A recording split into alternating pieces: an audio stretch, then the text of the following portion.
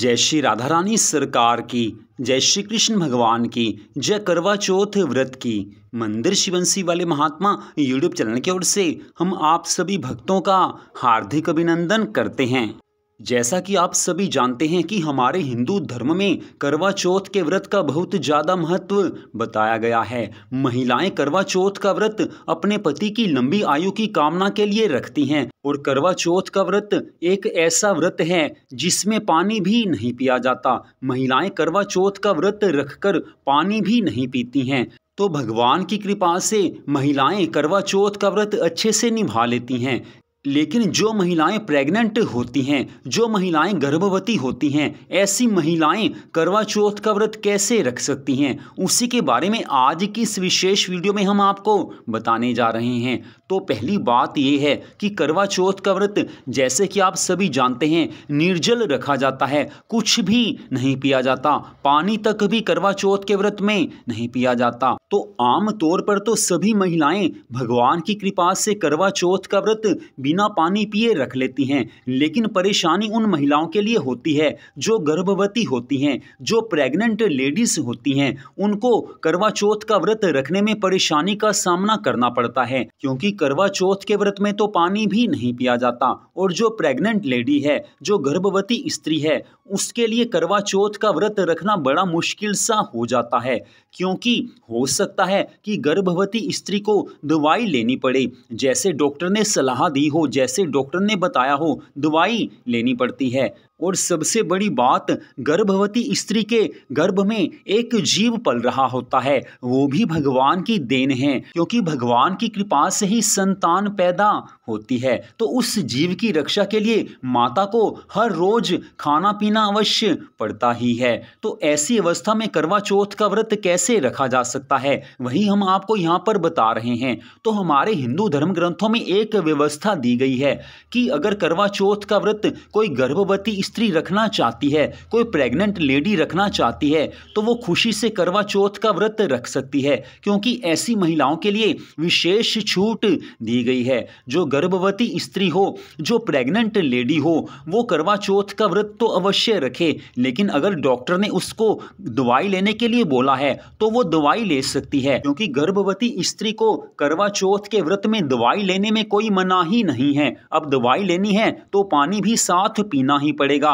हो सकता है चाय पीनी पड़े या हो सकता है दूध पीना पड़े, नींबू पानी पीना पड़े। तो गर्भवती स्त्री को यह विशेष छूट होती है कि वो करवा चौथ के व्रत में दवाई ले सकती है, पानी पी सकती है, दूध पी सकती है, नींबू पानी और चाय पी सकती है, क्योंकि उसके गर्भ में एक जीव पल रहा है। तो गर्भ में पल रही संतान की रक्षा सबसे पहला धर्म माना जाता है। तो हमारे हिंदू धर्म ग्रंथों के नियमों के अनुसार गर्भवती स्त्री अर्थात प्रेग्नेंट वुमेन करवा चौथ के व्रत में पानी पी सकती है चाय पी सकती है दूध पी सकती है नींबू पानी पी सकती है और साथ में दवाई ले सकती है लेकिन एक नियम यह है कि आवश्यकता पड़ने पर ही इन सब चीज़ों को लेना चाहिए आवश्यकता है तो दवाई अवश्य लीजिए आवश्यकता है तो पानी चाय दूध या नींबू पानी अवश्य पीजिए इसमें कोई भी मनाही नहीं है गर्भवती स्त्री अगर दवाई लेती है या दूध चाय पानी या नींबू पानी लेती है तो भी हमारे हिंदू धर्म ग्रंथों के नियमों के अनुसार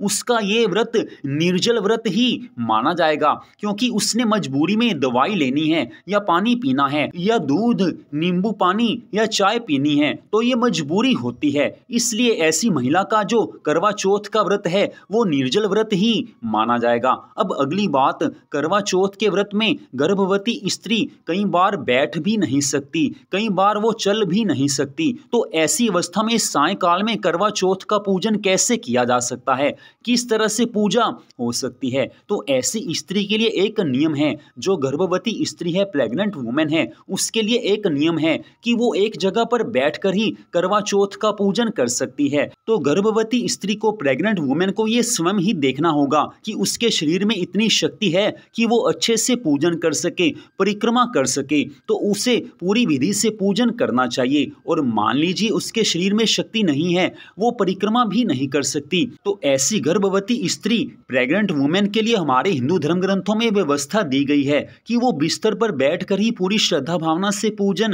कर सकती है। उसका वो पूजन भी संपूर्ण पूजन माना जाएगा। करवा चौथ का पूरा फल उसको अवश्य मिलेगा ही मिलेगा। श्रीमद भगवत गीता में भगवान श्री कृष्ण जी अर्जुन को गीता का उपदेश देते हुए कहते हैं कि, हे अर्जुन, जो मनुष्य जिस भावना से मेरी शरण में आता है, उसको उसकी भावना के अनुरूप में फल दे देता हूँ।